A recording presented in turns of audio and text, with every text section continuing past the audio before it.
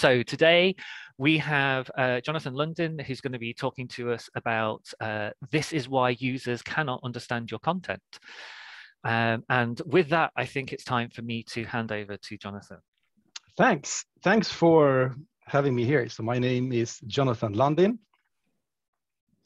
And I will be today talking about why users cannot understand your content. But before I introduce myself and the agenda, I would just like to make a short experiment so you get a feeling what I will be talking about. So imagine yourself being a user, that you're using a software, appliance, or device, and you are trying to do, accomplish something, you're getting stuck. And you turn out for the user manual to find out how to accomplish the task. So you find a piece of content. So please read this and see if you can understand.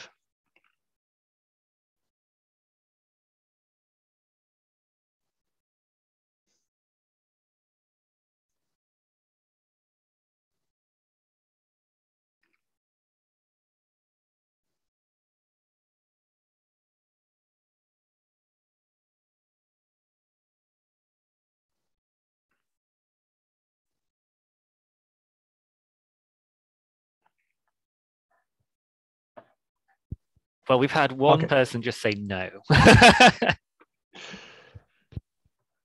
so any ideas of what this, what, what kind of procedure are we talking about here? Any ideas? Yeah. General comments just saying awful, uh, unclear, clear as mud. Um, but yes, yeah, something maybe about sorting laundry, some kind of sorting.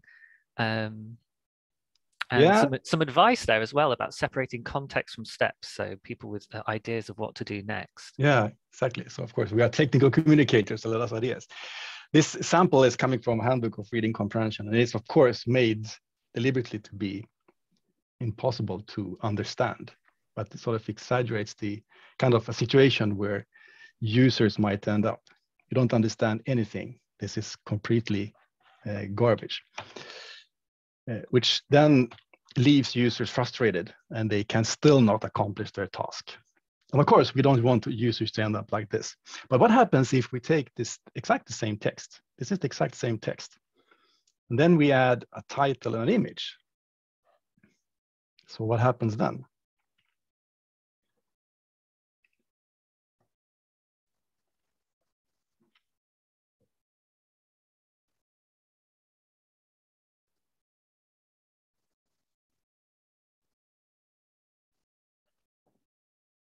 Okay, so you don't have to read the whole thing. But hopefully here, this might be a little bit more understandable. So yeah. what actually happened here? Sorry, go for it. What is the, what is the uh, difference when we added the title and the image? The thing here is that the title and the image hopefully allowed you to shape a mental model. Since I assume that you all have uh, knowledge about washing clothes. So this is what I've been talking about. So understanding means shaping a mental model. And this is kind of a tricky thing. So the mental model allowed you to get a feeling of understanding to make sense. So you, you might sort of feel that, okay, what procedure is, groups, these kind of abstract and vague words. Uh, so today I will actually uh, tell you, and I will hopefully you will learn what a mental model is, because that's very central to us as technical communicators. And I will also depict four sort of recent situations where users cannot shape a mental model. So here, when I'm saying shaping a mental model means to understand. I will be focusing on text content. And at the end, I will share some insights on uh, how we can support users then to shape the relevant mental model. So uh, my name is Jonatan Lundin, and I'm a technical communicator just like you. So I worked as a communicator all my life. And I work currently for a company called Excosoft as an information architect. So I work a lot with XML-based content management. So that is what I do uh, today mostly. Organizing, classifying, and structuring technical documentation. So I have a background in the development of the DITA standard for those who are into XML-based content management. But I'm especially interested in user behavior. So during my PhD studies, I did uh, study users searching and reading behaviors and how we could design technical communication to support those behaviors. So what I will be talking about today, I will share some of the knowledge and insights that I've gained throughout this research, which is kind of interesting. I work for a company called Excosoft, and we have a component content management system. Yeah, this is some the companies that are using this uh, our software to manage and translate and publish, version handle their technical documentation. So we help these companies uh, working with their XML-based content management. But okay, let's get back to this core concept of a mental model, meaning to understand. So what is it? Well, let us take an, another example. So here we have a person who is reading a piece of text in a, it could be a web knowledge base about how an air filter on a machine works. So there's words, of course, and there's icons and symbols. To understand what you read, you need to be able to have domain knowledge. So this person, in this case, is lucky since the person has knowledge about air and machines, filters and how the things work. And the text that the person is reading allows, uh, in this case, it's a, it's a he, she, to connect to this knowledge to shape the mental model. So mental model is a cognitive phenomena that lives in the working memory. It's dynamic and it changes as the user is, uh, is actually reading more and more content. If the user starts to do something else, then the person would shape another mental model.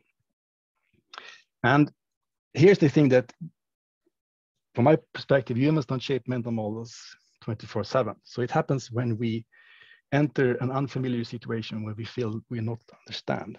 We need to explain what is that we see or we read. So mental models, it's kind of a mental representation of what it is that we uh, interact and what we see. So from the mental model, we can then uh, base our actions. You can plan what actions and steps and procedures to do. You can also use the mental model to avoid, avoid ending up in, in avoid dangers, for instance. So they're very handy. And mental models can be called mental representations and well, the different names. Uh, but I will stick to mental model in this presentation. So once, in this case, the reader is able to shape a mental model that makes sense, and then they maybe is doing an action, they can also internalize. So there's a process of learning that the shaped mental model turns into knowledge in the long-term memory. This process of internalization and assimilation and accommodation. So this knowledge can then be activated later on when the user is interacting with some other things or reading something else.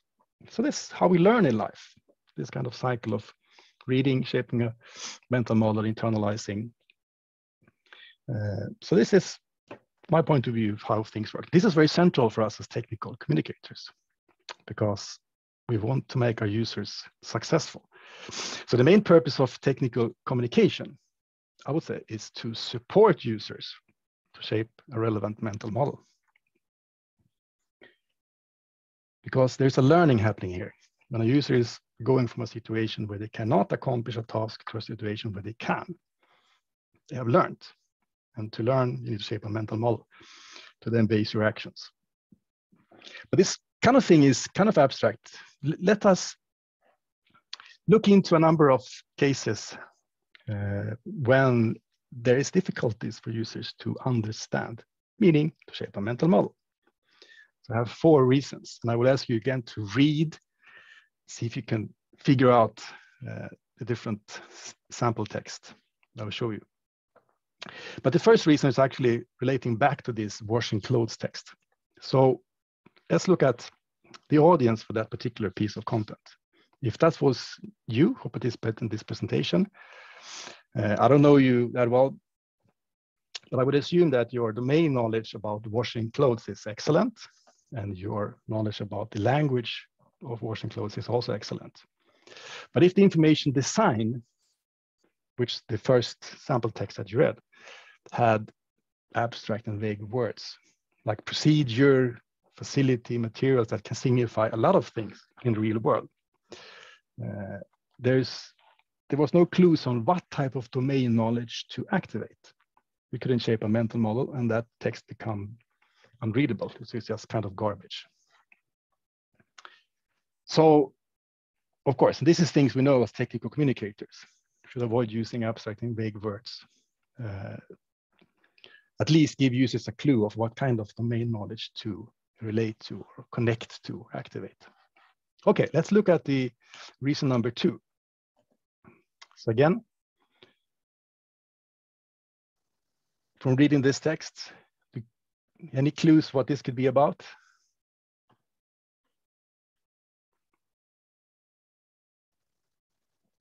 And I will actually ask James if, if you can pick out, if you have any, feel free to pick out. Ah, so initially, yeah, initially nobody nobody was was responding, and now a few people I think have cottoned onto pigskin and gone with football. So there's football, football, and football broke a window. So yes. I think some people have translated, or at least that's what I was. yeah, maybe. So. of course, now the audience is native English speakers, so this would hopefully be no problem. But if I would replace three words, so gal is girl, football, pigskin is football, casement is window. Then this the second uh, example here might make more sense.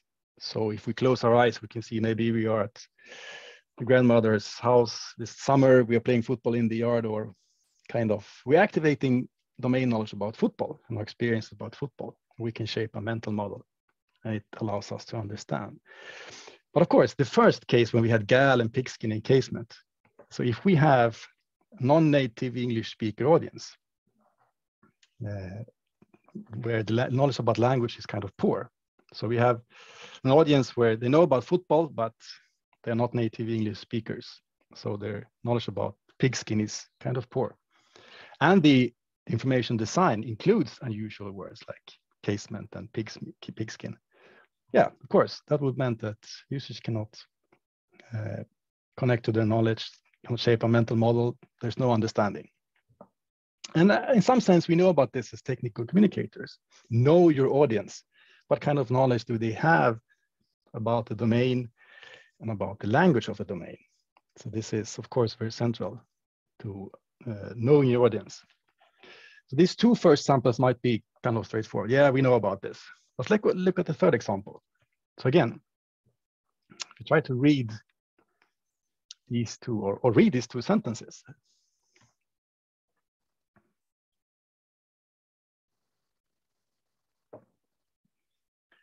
And then the question here is, why did the, this case is a man, why did he decide not to cross the desert? What was the reason?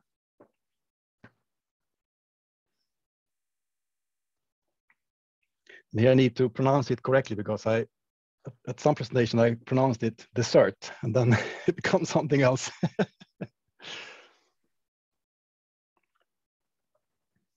Any clues of why? Mm, one one person's just written pudding question mark. uh, but no, you're, you're right. I'm uh, I'm reading that as desert uh, rather than dessert. So I think pudding is not the answer here. Uh, this again comes from uh, handbook of reading comprehension. Is uh, and I modified a little bit. But what happens if we, re replace one word Actually, we replace the last word in bold here. So if we read the second text, the question, why did this man decide not to cross the lake? Does it make any more sense?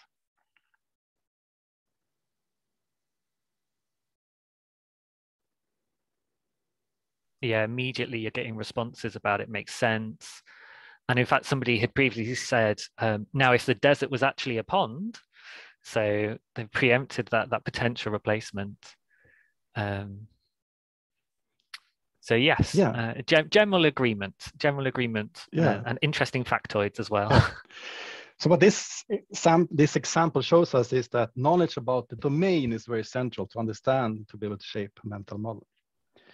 Uh, because in the second example, we activated our knowledge about the winter, about how ice and, and water behaves when, when we have minus degrees, etc. That heavy objects will break thin ice and you don't want to fall into cold water. That is unpleasant, etc., etc. Nothing of that is stated in text. That is something we infer and assume from activating the domain knowledge. So we make inferences of how these sentences are bridged and how they relate together. Again, nothing of that is stated in the text. In the first example, if you knew about that in northern parts of Sweden, there is actually deserts. And they are during, they are kind of ponds in the desert and during the winter they get icy. So if you knew about that particular domain in northern parts of Sweden, then the first example would make perfectly sense. So the, the thing here is then that if users domain knowledge is poor, you don't know about Swedish deserts about how, how they would behave. Uh, but your knowledge about the language is excellent. There was no unusual or kind of strange abstract words. But the information design in this case didn't bridge the sentences. The, the designer assumed that the reader were aware of the Swedish deserts. Uh, but in this case, the audience didn't have that knowledge. And the result is that the reader cannot understand. And that's the first example. But when we replaced the desert with lake, then it becomes more understandable because we have general knowledge about winter in general. Uh, so this also tells us that it's, again, know your audience and know what kind of domain knowledge they do have. And uh, so don't assume things that they actually uh, knowledge that they do not have. I will get back to sort of suggestion, how can we design to these type of scenarios? But let's look at the fourth example, which is the kind of interesting. So again, can read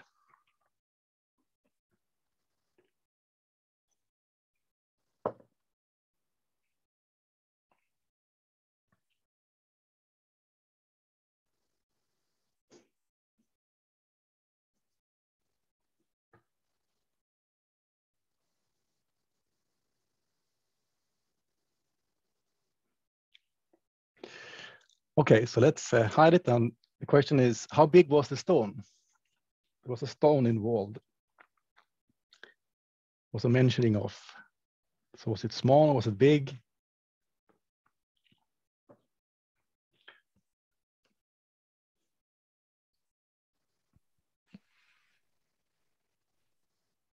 So uh, immediately, um, people are saying it must have been small or small for the builder um, given it had to fit in the pocket. Uh, so that seems to be the consensus. There's a couple of people who quickly came up with sort of like a, a solution to the riddle, as I'm I'm thinking of it now. uh, so ways they can try and work out how to make it make sense. Uh, I'll be interested to see whether or not they're right because they're thinking about things like model houses. Yeah. Okay. That's yeah. That's interesting. Well, if we look at the, there's a contradiction here. Of course, the the stone in, in, in some sense had to be really big to smash a cottage. That's our, our, knowledge about the world tells us. But if the owner put in the stone in his pocket, he had to be really a giant. But then the house had to be even bigger. So this kind of doesn't make this doesn't make any sense. There's a contradiction. What research tells us that if there's a contradiction to uh, in the text, to what the users knowledge that they have activated about how the world functions, if I would ask you one week later, the thing in bold here, you would probably have ignored and say, no, there was no, he didn't put anything in his pocket. So things that contradicts means that the reader would reject, ignore, reinterpret, because this, this contradiction doesn't fit into the domain knowledge about how the world functions. And this is also very central to us as technical communicators.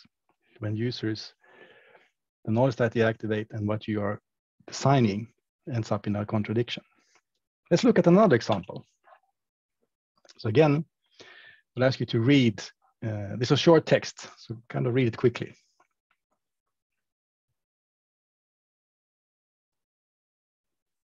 So just putting it really quickly, so we don't pay a lot of time of skimming text. So here the question is, there was a person involved here what kind of occupation or role or job did that person have?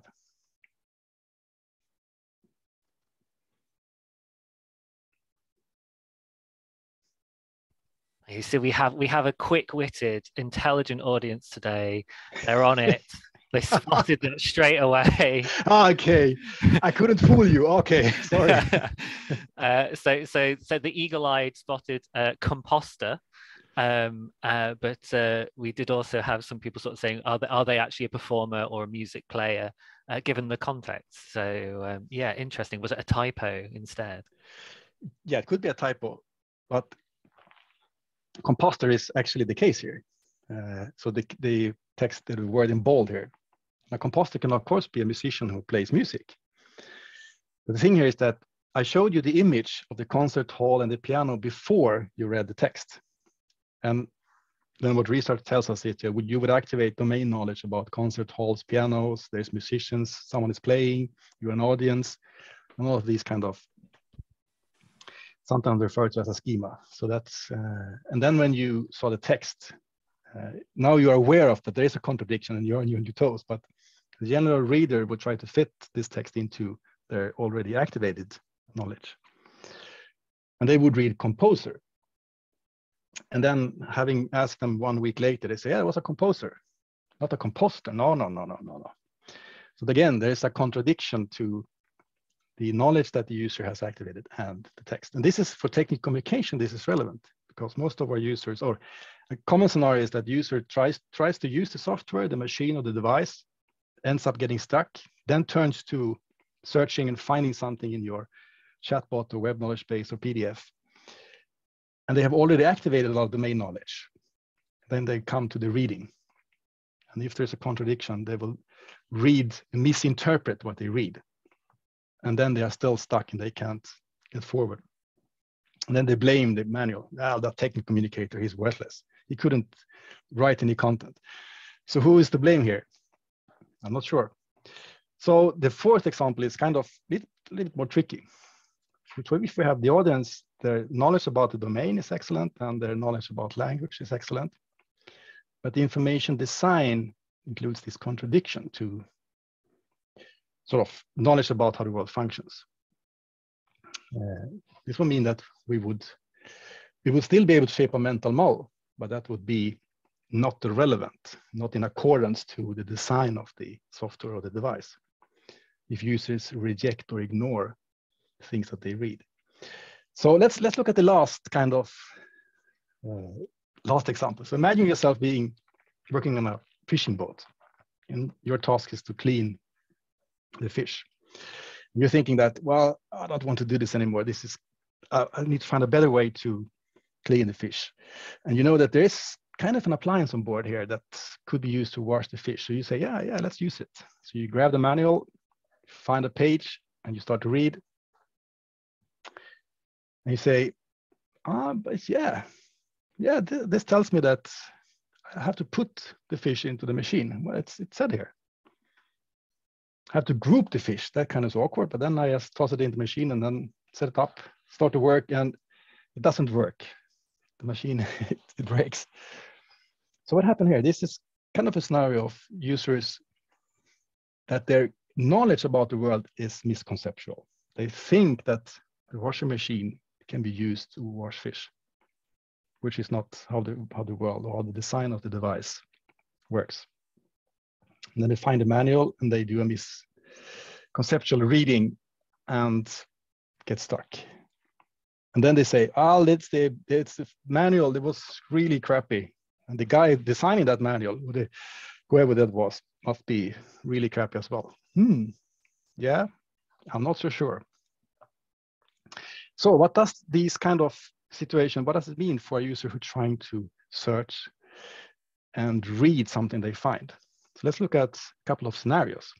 And this is for novice users trying to, they're getting stuck. Their domain knowledge is perhaps poor and their knowledge about language of the domain is also poor. So we have Eric here, he is using a software and he's getting stuck. He's trying to upload a file in a software. So he's looking for the instruction. So he finds an instruction on how to download a file. So finding things is not difficult. Just Google, open a book. The difficult thing is to judge whether, whether the thing that you find is relevant to the task you're doing and your information need. That is the sort of challenge for, for the one searching and reading.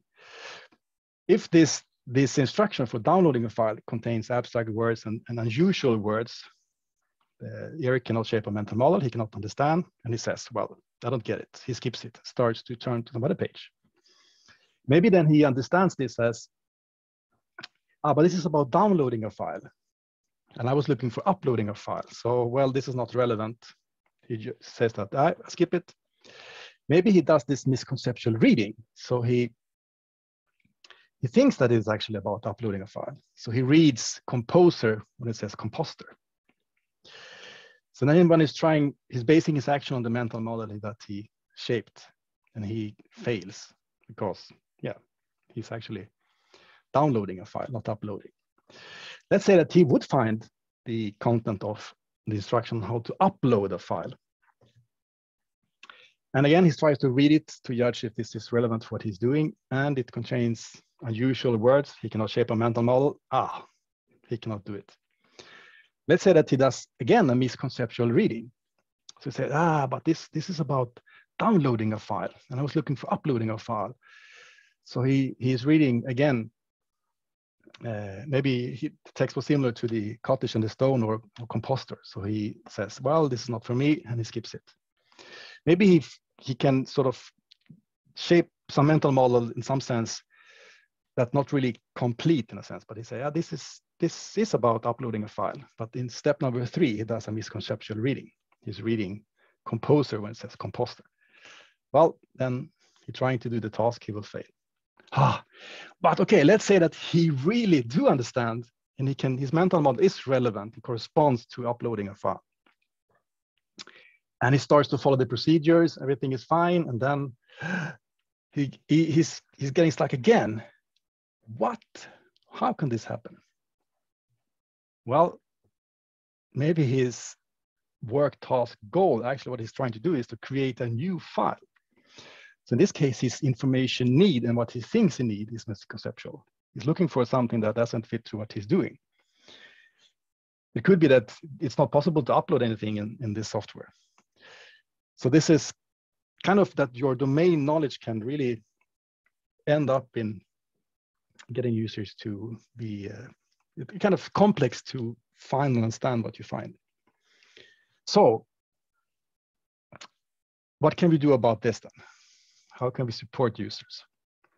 And this is kind of the craftsmanship of, of being an information designer and working with technical communication.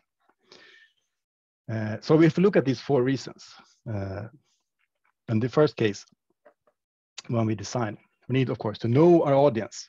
What kind of knowledge do we have about the domain, about the device, software, product that we are documenting, and what how their knowledge about language of the domain. We need to, of course, understand our audience. So avoid using abstract and vague words that can signify many, many things in the real world. But also to use visuals and use text. Titles is very important because titles and visuals could allow users to know what kind of domain knowledge to connect to and activate uh, to be able to shape a relevant mental model. And in the case that we have the, the sample with the pigskin and the gal, if you're writing for a non-English speaking audience and you're not translating, then of course avoid using words that are not familiar. So use words that the audience are familiar with. Or if you need to use company specific function names or acronyms, then define what they mean. So supply a terminology or a definition list. And here, of course, we have the initiatives of plain language and, and simplified English and all these things is very, uh, very important. In the case of a user who has poor knowledge about the domain, like a novice user, perhaps a beginner user. Uh, so don't assume that then the users have knowledge which they uh, evidently are lacking. So we could bridge sentences. For instance, in the in the case of the uh, the lake and the heavy man, you could actually inform the user that in Sweden there are deserts and they, there are ponds, and during the winter they get icy, etc. So supply the knowledge that they are missing or provide links to them. And also be explicit and inform the audience of what knowledge you assume that they have. I think this is something that we do as technical communicators, that in the introduction parts in the manual, you can state that this manual is based on assuming that you know this and this and this, and provide also the links to where to learn that knowledge if user might not have that domain knowledge.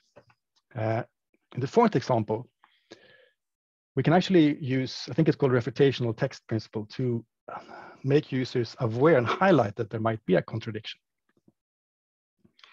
So for instance, in the, the compositor kind of example, uh, we can highlight having a, a, note alert or a tip or could even be a warning saying, hey, dear user, be observed that here we're talking about a compositor, not a composer. So that's some research shows that highlighting and making user aware of that there is a contradiction would probably mitigate them from doing misconceptual reading. So refutation on this case is kind of a powerful tool, but it's also, my experience, kind of difficult to know when to refute and not. Uh, but again, it comes down to knowing our audience and what they know and what kind of knowledge about the world they have. Uh, okay. So again, this is of course the way that we design, and this is mainly focusing on text content. So there are other approaches how we can design technical communication to support users in shaping a mental model. So besides text, we can use visuals and audiovisual content like a YouTube video, which is also uh, uses also shaping a mental model from reading those things. Uh, one interesting design approach is minimalism. And I assume that you are familiar with the design approach of minimalism or minimalist instruction you know, John Carroll and IBM, and which is, uh, uh, and from what I, I have learned about minimalism is that that is a design approach encouraging the user to shape a mental model from discovering and exploring, in that case was a software, and not from reading. So minimalism in this case is not referring to minimizing the amount of words of cutting pages. So that I think that's a misconception, at least from the original thoughts. So minimal, minimalism comes from the idea that technical documentation should minimize the obtrusiveness on users' learning path, meaning to be as little as possible in the way of users getting out, doing real tasks, shape a mental model from exploring and discovering the tool. So minimalist instruction should uh, quickly get the user into trying out things and helping them to get back on track, to recognize an error and how, know how to recover from an error. Uh, and that's also why minimalist instruction needs to be not to be complete because the user has to construct their own knowledge from making assumptions and inferences. That's also why minimalism means not to start a lot of conceptual descriptions and introductions. So get the users to explore and discover the tool right away. What I've been looking into my research is reading with your hands. So when we read text and images and visuals and audiovisual content, we use our ears and eyes, of course. Uh, but we can also use our hands to read, to shape a mental model from using our hands and moving our hands. So what I've been looking into is uh, supplying the user with the puzzle, actually. So the user is in a learning activity, here called a mediating activity they are getting uh, a number of tangible tokens, like symbols, like a puzzle basically, to signify different things in the in the tool. And then they also get a guidance on how to assemble these tangible tokens into a result model. So when the user is self-regulating, moving things and change the mind, what they're actually doing is that they are shaping a mental model while they're assembling this uh, these tokens into a model. So the result, what you see here is actually kind of a visual or tangible representation of their mental model. This could be particularly useful for beginner users, novice users, who, uh, so not to force them to find content from searching and reading. Because we saw that that's, that's could be a complex thing, difficult, there's a lot of sort of challenges in doing that. So this is some of the sort of examples of uh, the Skribenta house from people who have assembled uh, during a learning exercise when learning our component content management system Skribenta to get a big picture of how central things fits together in that case. Uh, so this is kind of a design approach which which could be I don't know it could be useful, especially for novice users. So that is what I intended to. That is the presentation. So I guess we have some time left for questions. Excellent. Thank you very much. And I'd just like to tell everybody about a couple of things. Uh, so we have our podcast, uh, the latest edition uh, featuring Rahel Bailie talking about content strategy and her career and, and her, her involvement with the ISTC. Uh, it's a 30 minute podcast, well worth checking out. And the link there, istctechcom.podbean.com. Uh, and the other news is to let you know that ISTC Meets is taking a summer break. Uh, so uh, for the next few months, uh, we're not, um, we don't have any events planned, uh, but we do, uh, we are planning some stuff for the autumn. We've got um, some stuff we're planning starting in September. So to make sure that you uh, don't forget or lose track, uh, I'm encouraging you to, to jump onto Eventbrite and to make sure you're following ISTC on Eventbrite. Uh, and rather than give you the very complicated Eventbrite link, I would suggest you go to our website, istc.org.uk. Um, on the menu, you can browse to events and then ISTC meets or um, the URL on the screen there, slash event slash ISTC hyphen meets. Uh, and on there, there's a link over to our Eventbrite page and information about all the others. And um, there's also um, recordings of uh, previous talks, and this one will be made available there um, at a later date.